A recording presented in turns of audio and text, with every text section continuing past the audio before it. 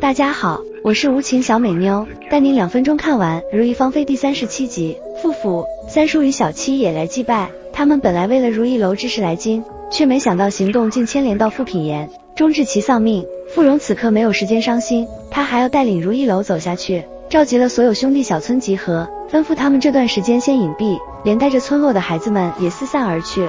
而小七与三叔则继续跟随傅荣调查如意楼失火一事。今夜的提刑司前后迎来了三拨人，先是小七翻阅了如意楼失火的卷宗，又是文行悄悄窥探，之后才是许家再次翻看卷宗。依据上面所述，如意楼发现的尸体只有一具，那么这件事就证明了徐静所说的张燕纵火都是谎话。他直到上一刻还希望能相信徐静，殊不知提刑司卷宗一早就被安王改过，张燕的尸体连同假冒金衣卫的人也都处理干净。葛川一听便发觉一定有人篡改卷宗，烦请吴白起多多调查。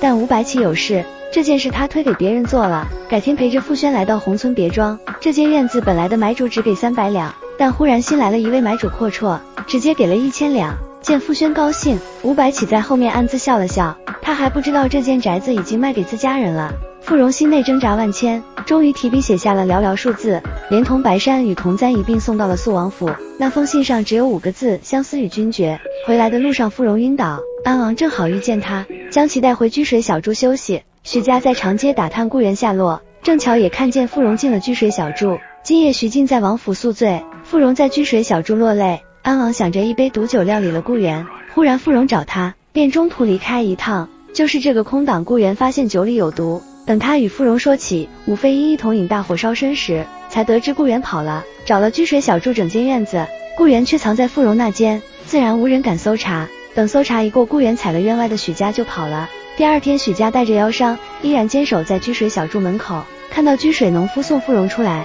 傅荣问了安王是否见到顾源，安王说未曾见过，他一定在隐瞒什么。许家将一切告知徐静，事情苗头不清，徐静只派人盯紧居水小筑。没两天，玄汉派使节来横京请求和亲，使臣就是新登基玄汉皇帝的弟弟二王子乌塔。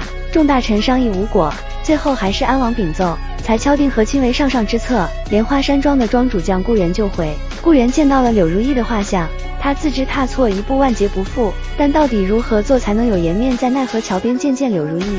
庄主并没有过多的话去与他讲，只告诉他回头是岸。此次和亲乌塔向皇帝禀明他们大王只中意西河郡主，皇帝略显为难，于是来问西河郡主崔婉，若他不愿，便唯有一战。崔婉不愿做挑起战事的千古罪人，请皇帝容他考虑两日。转头来又是悬梁求死，又是求淑妃的，淑妃心肠软。